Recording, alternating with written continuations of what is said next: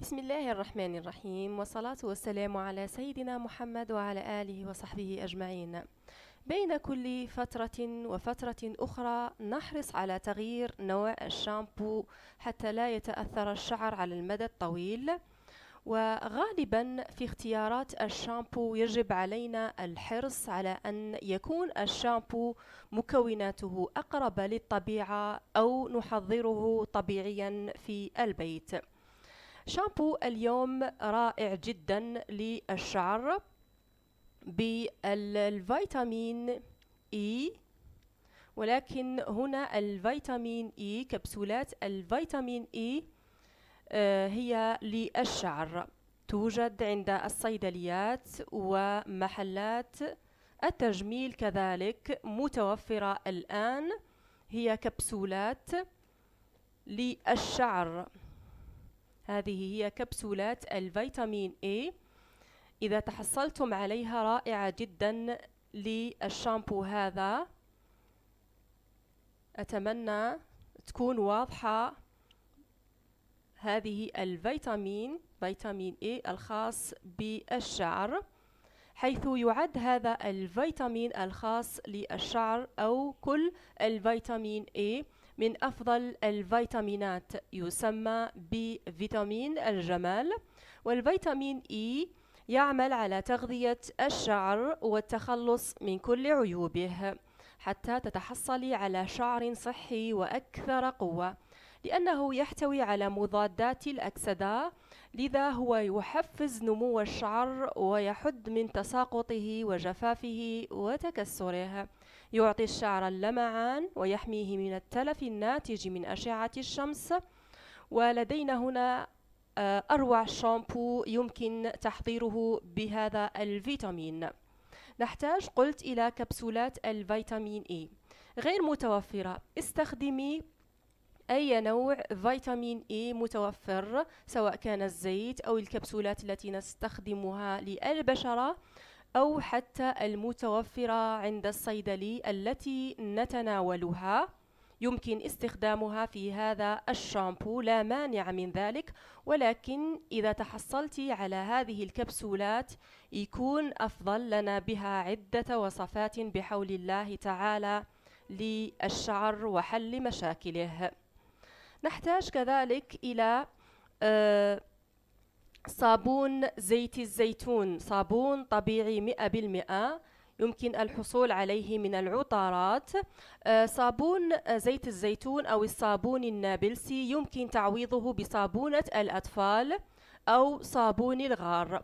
كل هذه الصاب كل هذه الأنواع من الصابون متوفرة يمكن استخدامها في تحضير أنواع الشامبو الطبيعي.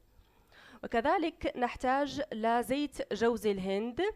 زيت جوز الهند هنا يناسب جميع أنواع مساميات الشعر.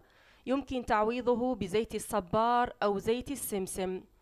اختيار زيت جوز الهند هنا قلت حتى يناسب جميع أنواع مساميات الشعر.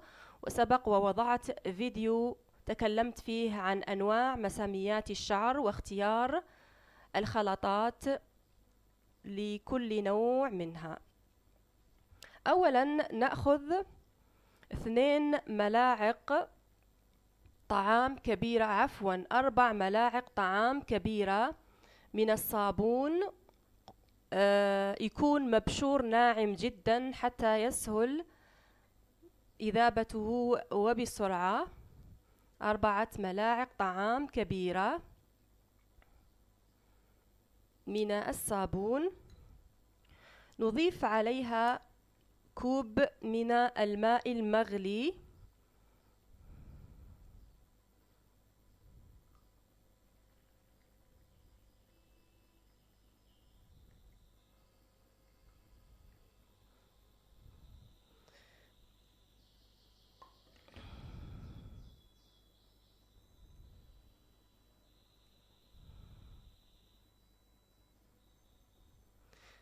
ثم نقوم بتقليب المكونات باستخدام ملعقة خشبية. عفوا. نقوم بتحريك المكونات حتى الحصول طبعا على قوام الشامبو. الآن نقوم بالتحريك الجيد بهذا الشكل حتى يذوب نهائيا الصابون. طبعا يأخذ منا وقت من عشر دقائق إلى ربع ساعة. حتى يذوب نهائيا. خذي وقتك في تذويب الصابون جيدا. بهذا الشكل مع الخلط الجيد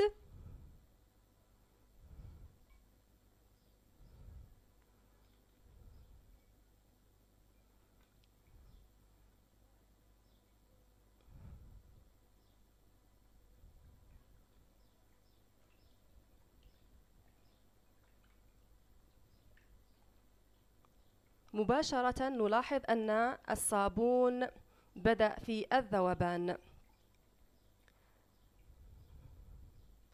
نضيف عندما يذوب الصابون نضيف ملعقة طعام آه، كبيرة من زيت جوز الهند.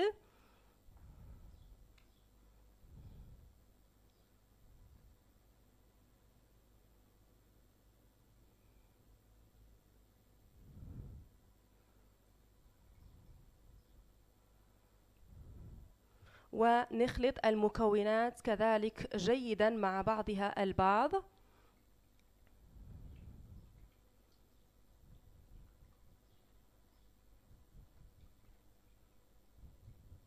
نخلط جيدا حتى تنسجم كل المكونات مع بعضها البعض.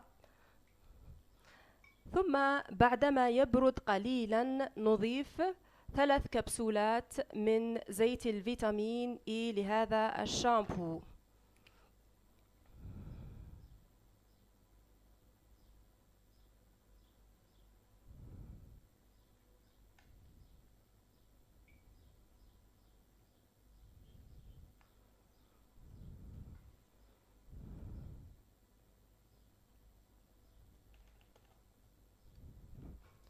أوف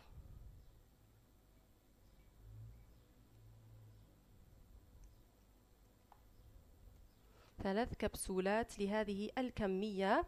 يمكن مضاعفة مقادير هذا الشامبو وسأذكر صلاحية هذا الشامبو. ثلاث كبسولات لهذه الكمية. ونخلط جيدا. أتمنى متابعة فيديوهاتي للأخير وذلك من أجل الاستفادة لأنني أقدم كل المعلومات.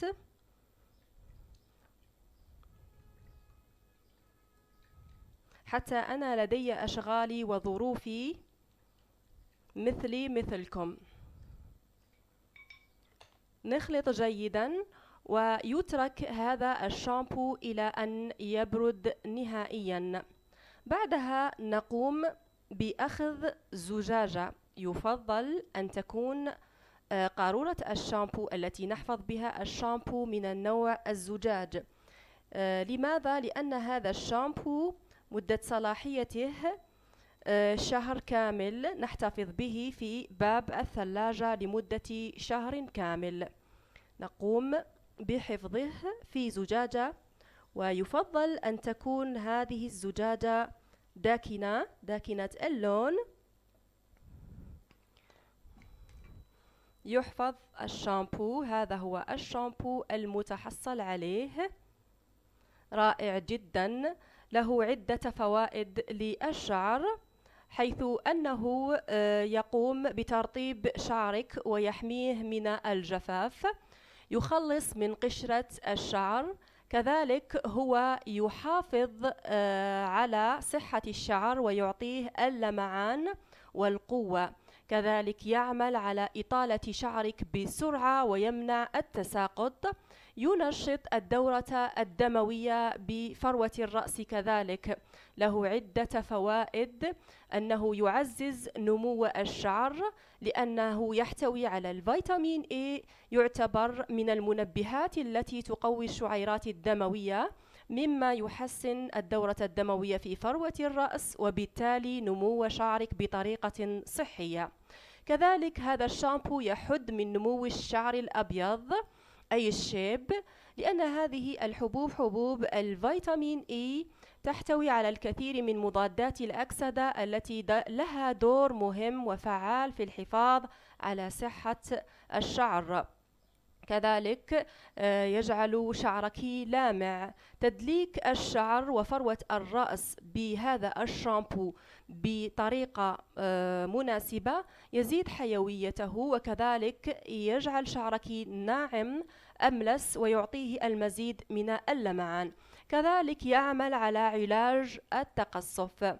في بعض الأحيان يظهر الشعر بغير لا بمظهر غير لائق متقصف بسبب الجفاف وهذا بفعل العديد من العوامل من أبرزها استخدام مواد وأدوات تصفيف الشعر وصبغات الشعر.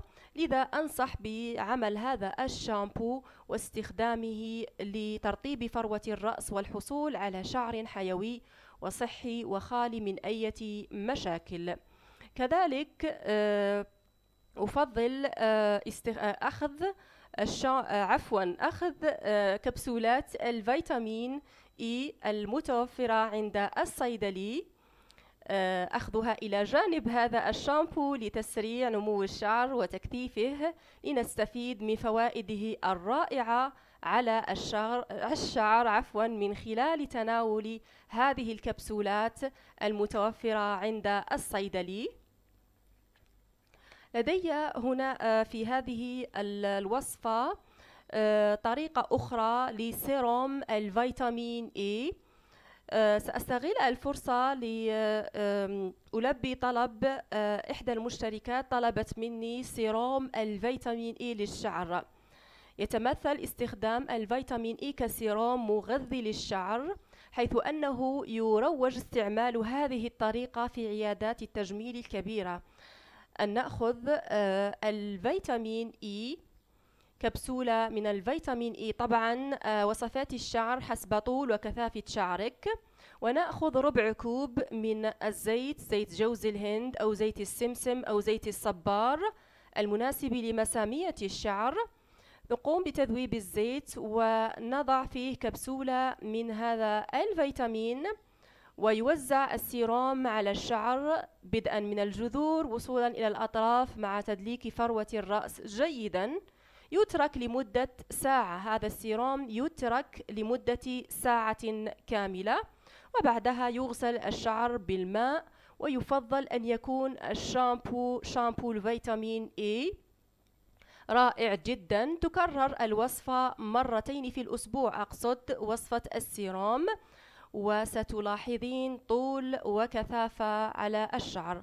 طبعا مع اتباع نظام غذائي غني بالفيتامين A حيث يساعد الفيتامين E في علاج هشاشة الشعر ومنع تساقطه من خلال تغذية البصيلات والتحفيز على سرعة نمو الشعر. نستفيد منه من خلال تناول المأكولات الغنية بهذا الفيتامين وندرجها في نظامنا الغذائي.